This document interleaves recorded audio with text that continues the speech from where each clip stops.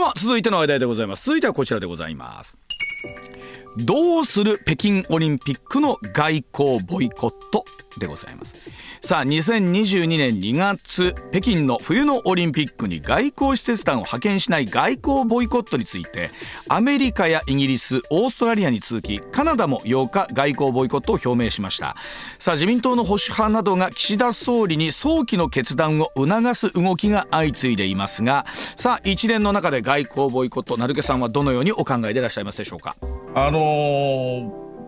僕はねグラグラでやっていくべきだっていうふうに思うんですよ。もう気色不鮮明、あ、また日本は気色不鮮明で何を考えてんだろうな、で、全然 OK だと思ってる派ですね。え、変にメッセージを出さない方がいいということですね。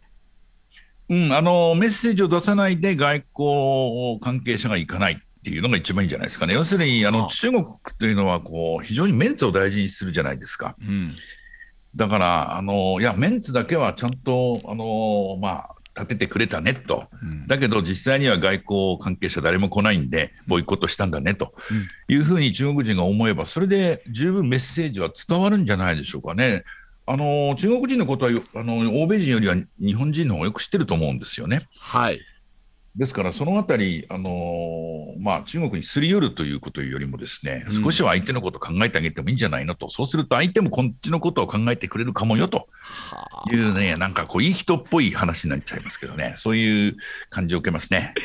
あのこういうことって、ヨーロッパ、アメリカっていうのは、いち早く自分たちの騎士を鮮明にするというのを大事にする文化ですよね。そうですよね、なんかそれもね、あの実際にはここまで昔はひどくなかったと思うんですよ、思いっきり相手の悪口言うっていうところまでは。うん。これね、あの結局、中国の外務省のあの報道官たちが今、戦狼外交って言われてますよね、うん、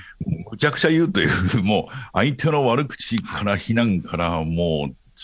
超ストレートに言うっていう、はい、言います今までのこう人類の外交史の中で、ここまでむちゃくちゃ言ってたっていうのは、僕はないと思うんですけどね、うんうん、これにつられちゃってる感じがありますよね。あ確かにあの結構なことを言いますよね。あの、ね、あの、うん、第二次世界大戦の時ですらね、日独伊があの連合国側に対してここまでむちゃくちゃ言ってるってことはなかったと思いますよ。それなりにやっぱりね、ルールがあったんですよね。節度もあったしルールもあった。うん、そう外交っていうのはやっぱり紳士たるその、まあ、昔はね紳士とか貴族とかそういう人たちが18世紀17世紀はえ国を全てたわけですから彼らなりのルールがあったっていうことなんでしょうけど、うん。うん、で今でもその日本にしろアメリカにしろイギリスにしろ結構やっぱりあれですよね。上流階級の人たちが、あの政治家になる確率が高いですよね。うんあのイギリスなんかもう本当にね、ウォートン校出た総理、あの首相とか、まあ本当に貴族階級みたいな人たちがいっぱいいるわけですから、それなりのルールがあったんでしょうね。うん、でそれがあの中国になるといきなり何にもなくなっちゃって、うん、いきなりストリートファイトみたいになって、もうあのえー、街のね、あのいわゆるこう、あの魚屋さんとか、えー、八百屋さんでの口喧嘩みたいになっちゃってるわけですから、これにね、多分つられてるんですよね、きっとアメリカもヨーロッパも。うんあのその意味では、今回、あえて日本がその戦いの土俵に乗らないという選択肢はあるということなんですね。そうだと思います。うん、よくあの日米欧っていうじゃないですか。はいでももう日米欧っていう概念はないんじゃないかと思いますよね。とと言いますと、その日米欧ではないというのは。今、大国っていうのは、うん、アメリカと中国の2国しかないわけですよね。はあ、ロシアなんかは実際には GDP はめちゃくちゃ小さいわけですから、台湾ぐらいしかないんじゃないですか、その割には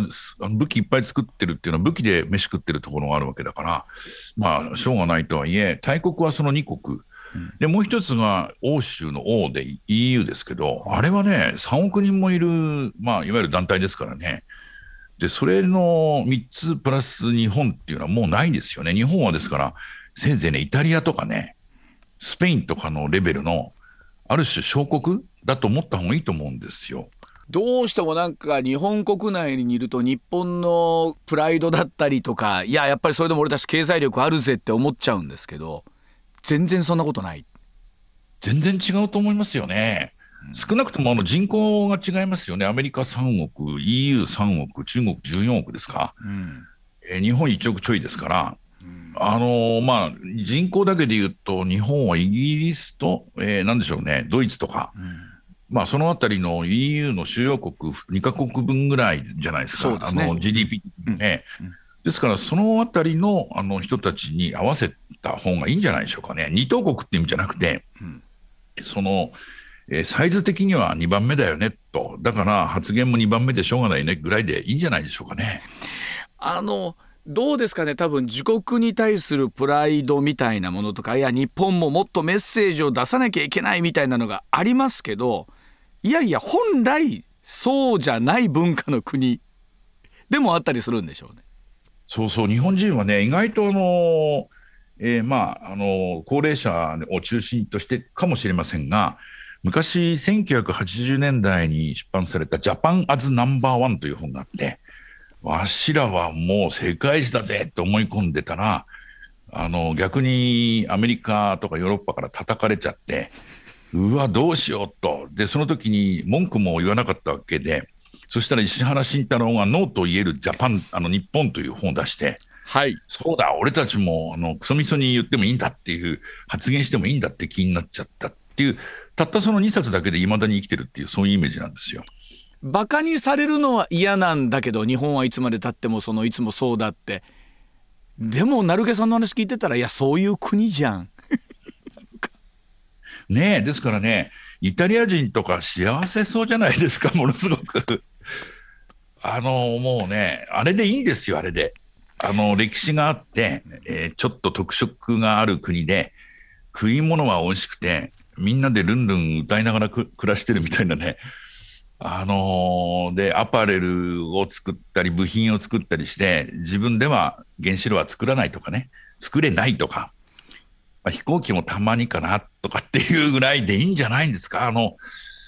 イタリアになりましょうよと。これからはね、あの、イタリア、スペイン、あの、もう少し暖かい国のね、あの、ヨーロッパの国を目指して生きていくっていうのが、いや、これは本当に個人としてもそちらの方が幸せだと思いますよ。うん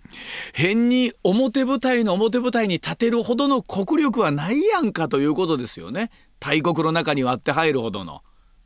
そうですよね、これだけ GDP、つまり経済成長率が低いまんまですし、給料も低いままなんですから、うん、上げる努力は増したとしても、もう追いつかないほどそのレベルが低くなっちゃってるわけですから、それならそれで受け入れるしかないんだと思うんですけどね。あのどうなんですかね。例えばトランプさんが出た時のアメリカってそうだと思うんですけどまあ国の規模違いますけどどっかで国内向けにね強いメッセージを出していかなきゃいけないっていうような流れがどうでしょうね。ここ10年ぐらい各国ともちょっとあったりするのかなと思うんですよ。あれあの国内向けに強いメッセージ出してる国というのは、うん、えー、国が分断してる時ですよね。うん、あのアメリカも韓国もむちゃくちゃ言いますよね大統領が、うん、もしくはあの政府がね、他国をクソみそに行ってみたり、えー、またはもうこんなことやっては外交おかしくなっちゃうんじゃないのみたいなところも平気でやり始めてる、おっしゃる通り、えーと、国内向けのメッセージっていう部分が非常に多いんでしょうね、中国ももちろんそうですよね、あれね、分断してる時ですね、あの日本はね、意外と分断してないじゃないですか。もっとやれ、ま、もうこれ言い過ぎだとかっていうので、国内が分断しちゃうんですよね。だからね、あのー、最初に言ったようにね、えー、じわじわとまあ、だらだらとやっていくっていうのが、あの、日本らしくていいよねっていう、そろそろ日本らしさのいいところをね、えー、今までずっとマイナスだと思ってたところ、日本人の曖昧さとかね、えー、っと、意味わからない微笑みを出してしまうとか、ついやってしまうじゃないですか。いいじゃない、それでっていう、そういうことだと思いますけどね。あの、結局、なんだかんだって北京オリンピックもいい落としどころあるんでしょうね。どっかでね。どっかであるんですよね。だけど、あの、ともかく、とはいえ、あれですね、IOC の、あの、バッハ会長ですか？はい。行かないですね、あれだけは。なんかこうあ、あの人がすべての悪役を引っかぶって、うん、えー、えー、北京オリンピックの後に、あの、退任するというところで、大体ね、あの、ストーリーは、あの、決まってんじゃないかというふうに僕は思いますけどね。あのコロナがあっって東京オリンピックは延期になって北京オリンピックは北京オリンピックで外交の問題があってバッハさんは間悪かったんですかね？間も悪いけれども人も悪いそうな感じですよね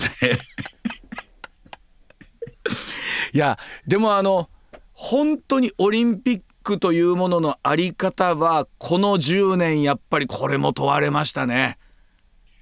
ね、問われましたねあの結局スポーツがどんどんどんどんプロ化していったわけですからだって野球入れるなんて野球選手全部プロですもんね。はいということは、プロだということは興行ですよね。人に来ていただいて、観客に来てもらってなんぼという商売だから。だからオリンピックも結局そうなっちゃうのはしょうがないんですよね。なんだったらもう、そう言っちゃえばいいんですよね。これはもう完全に工業、スポーツ工業ですから、お金かかりますって言ってしまえばそれでいいんですが、アマチュアだのね、えー、何かこう、世界平和だの、ごちゃごちゃごちゃごちゃ言うもんだから、えー、中途半端なことやればやるほど、あの、バッハ会長悪者になっていくっていう、まあ、その辺のこう見極めが彼できなかったんでしょうね。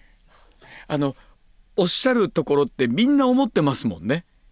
あのどっかで思ってるのに誰も正面切っては言わないってことですからね。言わないですよね。あれあのオリンピック選手アマチュアかと思ったらそんなことないじゃないですか。あの人たちとにかく24時間ねスポーツ選手ですし毎日練習を20年間続けましたと。えー、卓球の選手なんてのはもう3歳とか6歳から始めるそれ以外のことは一切ね、まあ、趣味とか別にしてね、やってないわけですから、これをプロと言わずして何をプロと言うんだというふうに思いますし、で、それで飯食ってるわけですかね、そもそも、他のことじゃなくて。この人たちはね、やっぱり、あの、俳優さんとか、ね、あの、タレントが、あの、ちゃんとした収入があるように、興行なんですから、それなりのちゃんと収入が保証されてね。で、結局でもそれも本音と建前をうまく使いながら、やっぱりこんな風に進んでいくんでしょうね。2022年も6年も。うん、いやどうでしょうね、あのどっかでね、腹が据わった、うん、えー、オリンピックのそのヘッド、うん、あの会長が出てくるんじゃないんですか、もうこれからはもう、金だと、俺たちは興行してるんだと、どこが悪いと、世界平和はお前ら勝手にやってくれと、ポストはさほど関係ないわっていう人、意外と僕ね、出てくると思いますよ。ああ、そうですね。でも現実そことは切って切れないケース出てきますもんね。なるほど、ね。公表にしてしまえば今回の問題ないですからね。そうですよね。そうですね。うん政治を関係させるなって言われても、いやいや、工業ですから、政治があろうがの頃私たちは知ったことじゃございませんって言えばいいわけですでしょ？でそれがね、できないんですよね。そろそろやめましょうよということですよね。わかりました。